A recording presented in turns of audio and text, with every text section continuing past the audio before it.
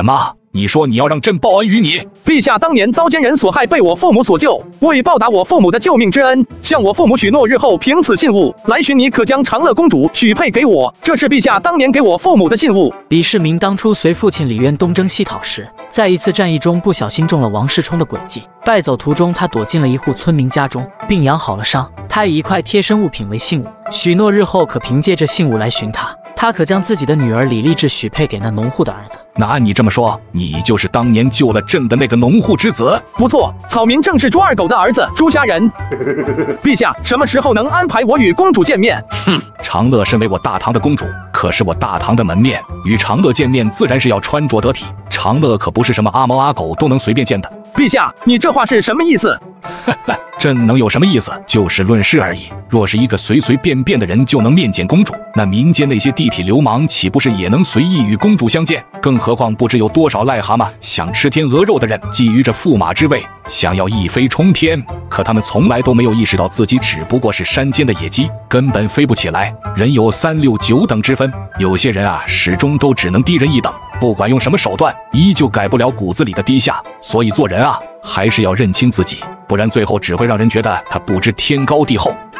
好你个李二，当初要不是我父母救你一命，能有你现在的大唐江山，恐怕大唐早就亡了。都说皇帝一诺千金，现在看来你李二狗屁不是。再说了，本虾什么肉夹馍没吃过，不就是一个李立志吗？本虾还不稀罕。有些人啊，就是摆不清自己的位置，不知天高地厚，目光短浅，到头来之后让人更加唾弃。虾仁啊，你觉得朕说的对不对呀？呵呵，陛下说的是，可陛下说那么多，好像没有搞清楚，当初是陛下为报救命之恩才许下的承诺，如今陛下却这般指桑骂槐，变着法的嘲讽我。既然如此，今日陛下就当草民癞蛤蟆想吃天鹅肉，还请陛下高抬贵手，放我一马，莫要治我的罪。草民这就离开。这李二的人品果然如史书上说的一样出尔反尔。当初只是个皇子的时候说的话多好听，现在坐拥天下还高贵起来了，高的本家好像真是想攀高枝一样。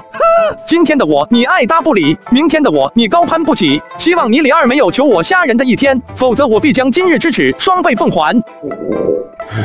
杜兄，你先别叫了，本虾这就找个地方围保你。听说了吗？上午有个穿的破破烂烂的乞丐，凭着一个破玉佩，还编出了一个梦幻一般的故事，去找陛下说要迎娶公主，直接让陛下轰出皇宫了。现在真是什么三鸡野鸟都想娶公主了，也不撒泡尿照照自己配吗？听说了，不过好像是陛下出尔反尔，不但悔婚，还把人家轰出了皇宫。还是不要再议论此事为好。前几日东平王府传出郡主要抛绣球招亲，我以为只是做个样子，没想竟然倒是真的。这还能有假？我可是听说咱们陛下要将东平王府的郡主嫁去吐蕃和亲，王爷不想女儿远嫁，无奈之下才想出这法子的。想不到郡主绣球抛亲会有这样的后幕。是啊，要是这种好事能便宜我就好了。哦，原来是东平王府的郡主招亲，那不就是李雪燕吗？真他娘的倒霉，刚被悔婚，现在又遇到个抛绣球招亲的，还是好好吃饭吧。郡主再不抛绣球就误了时辰了。难不成郡主想去吐蕃和亲吗？去吐蕃和亲，我自然是打死也不会去的。可是就这么便宜了这些乡野刁民，本郡主还是心有不甘。唉，也没有别的选择了，听天由命吧。吃饱喝足，该想想以后的生计了。作为虾仁集团的穿越者，本虾可不能饿死在这盛世。这好像是东平王郡主的绣球。卧槽啊！早上刚被李二悔婚，现在又接到了绣球。郡主，郡主。接到了，绣球被接到了，是何人接到的？那人长得如何？看起来可是那种地痞流氓的样子，亦或者是那种四处留情的公子哥？哦，郡主，那公子虽穿得像乞丐一般，但生得好生俊俏。如果他拿到了绣球，我都想嫁给他。这就是今日接住雪雁绣球的少年。是的，王爷，这位就是接住郡主绣球的公子。嗯，眼前这人虽然穿着好似乞丐，但生得还算俊俏。回去稍加打扮，那还不得迷倒万千少女啊！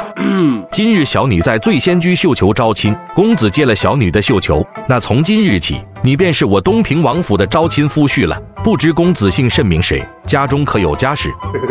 在下家人，自幼父母双亡，独自一人流浪，无牵无挂，逍遥快活。哈哈，好的很啊，孤苦无依，正好入赘过来，不然还怕他是个富家公子。不仅拱了雪雁这颗大白菜，生下来的孙子还要跟他姓。既然如此，那楚公子就入赘我们东平王府吧。择日不如撞日，明日就成婚。啊！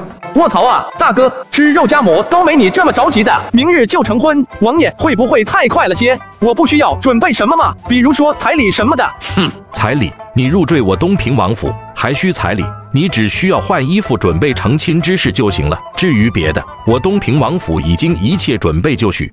本家啥都不用准备，只需要明天和李雪燕拜堂成亲，然后还有免费的肉夹馍吃，还有这等好事。那王爷本家就恭敬不如从命了。还叫王爷呢？呃，哦哦哦，岳岳父大人。